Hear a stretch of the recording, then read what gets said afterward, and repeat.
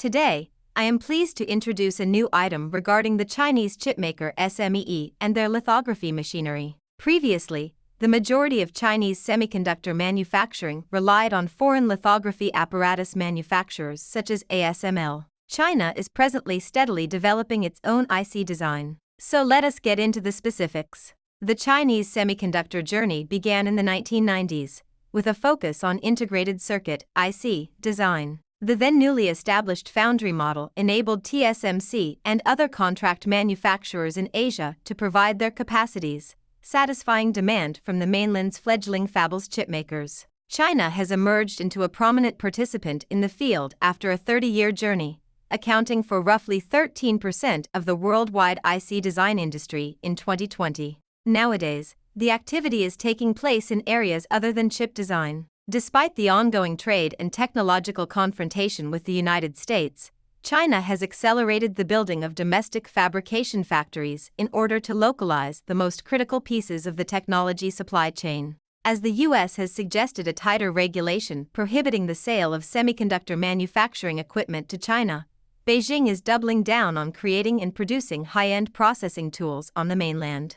A lithography machine is essential to the whole manufacturing chain in the IC assembly process. According to some reports, Shanghai Microelectronics Equipment, SMEE, a Chinese national champion in the field founded in 2002 by Shanghai Electric Group, is pushing hard to develop its second generation deep ultraviolet DUV immersion lithography system which could produce chips as small as 7 nanometers with multiple patterning. In this very lengthy research note, we explore SMEE's company, assessing upstream, downstream, technological skills, and the people behind, maybe, China's most sought after piece of the country's yet to be assembled semiconductor jigsaw puzzle. It is an integrator. A lithography machine technology research project was initially included in China's National High-Tech R&D program in 2002. 863 program. In the same year, SMEE was established. Its study in the field was continued in the O2 Special Project,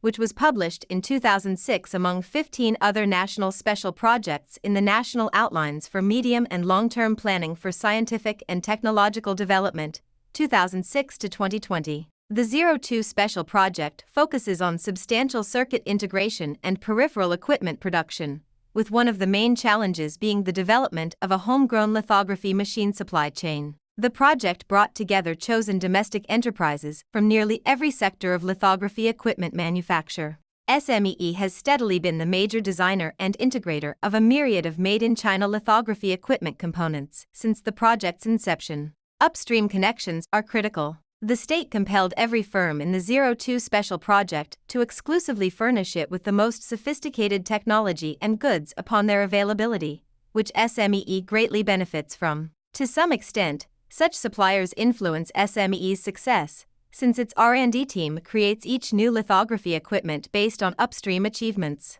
SMEE's suppliers are divided into two categories core component makers and supplementary equipment providers. Both industries rely heavily on intellectual property, with corporations holding hundreds of patents. For example, the Shanghai Institute of Optics and Fine Mechanics, COM, a part of the Chinese Academy of Sciences, CAS, founded in 1964, supplies grading systems to SMEE. COM possesses approximately 200 related patents, and its researchers produce over 600 publications per year, the majority of which are indexed in the Science Citation Index or other prestigious scientific databases. Some of SMEE's upstream partners are sponsored by the government. For example, Beijing RS Laser Optoelectronics Technology, which specializes in light sources, counts among its owners the Institute of Microelectronics of the Chinese Academy of Sciences and E-Town Capital, both of which are wholly controlled by the government. Some have their roots in the private sector.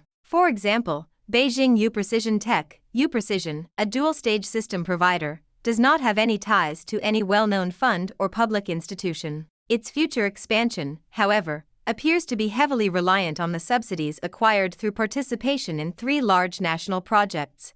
U-Precision won a grant of 321 million Chinese yuan in 2019, roughly 2.65 times its annual operational income that year. Meanwhile, its operational deficit was estimated to be over 270 million Chinese yuan. Clientele and product mix. SMEE has created four lithography machine series for IC front end production, IC back end advanced packaging, LED slash MEMS slash power devices, and TFT circuit manufacture. SMEE's most sophisticated gadget as of June 2021 is its 600 series scanner for IC front end fabrication. This machine can produce chips in 90 nanometers, 110 nanometers, and 280 nanometers process technologies.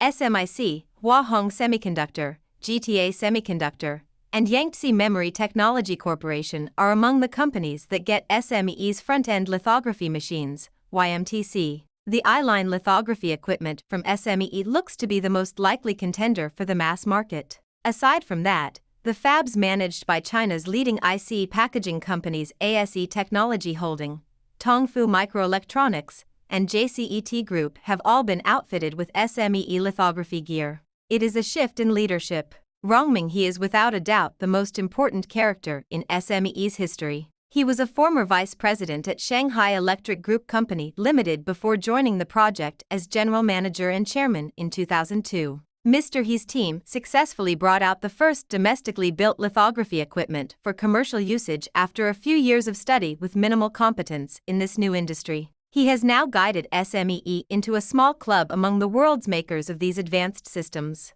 Mr. He quit the executive list in early 2018. This occurred shortly after SMEE signed the contract for pre-listing tutoring with China Securities Company, Limited, December 2017. That management change could have resulted from disagreements between SMEE's old and new shareholders' business interests during the listing preparation process, the firm received funding from several capital managers, including China Everbright Limited, Shanghai Zhangjiang Haoqing Venture Capital Company, Limited, and High Tech Investment, the latter two were SMEE's existing backers. Gon Pin, who is also a vice chairman of Shanghai Electric, is the current chairman of SMEE. Mr. Gon has prior expertise with public firms and technological initiatives. He was the vice director of the Shanghai Science and Technology Committee from July 2014 until December 2020. Previously, he was the secretary of the CPC committee at SAIC Volkswagen and a vice general manager of SAIC Motors Alternative Energy Division.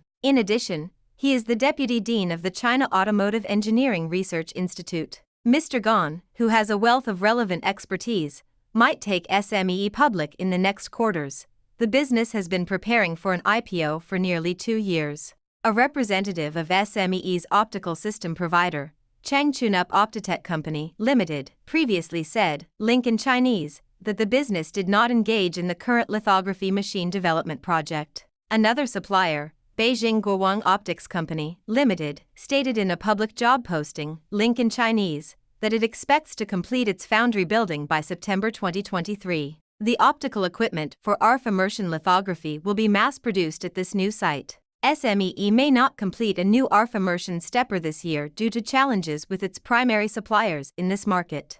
Beijing RS Laser Optoelectronics Technology Company, Limited, RS Laser, SMEE's major light source system provider, has produced the first domestic 40W 4 kHz ARF light source. Twinscan NXT 1980D an ASML designed equipment now used to produce 28 nanometers chips, uses a 60W 6 kHz ARF laser. Now, RS Laser's team must make a significant technological jump so that SMEE can complete the entire machine on time. In the last few years, SMEE's suppliers have also made some significant advances. Tsinghua University's IC equipment team and U-Precision created a dual wafer stage technology in 2016 that could produce parallel reticle stages as small as 2 nanometers. It has become the second business in the world to assume the lead in fundamental technologies in dual stage lithography, breaking up ASML's technological monopoly. According to U-Recent Precision's IPO prospectus,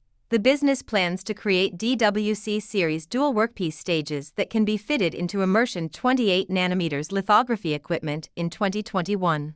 Photoresist availability used to be one of the most serious issues, with China relying largely on imports, particularly for the kind used in lithography equipment. Jiangsu Nata Optoelectronic Material Company, Limited has begun to change the situation by developing a 25 ton ARF photoresist manufacturing line. Chairman Jin Song Feng announced during the latest online performance report meeting on May 11 that the firm's photoresist has been successfully deployed in an ASML immersion lithography equipment, hinting to a product quality enhancement.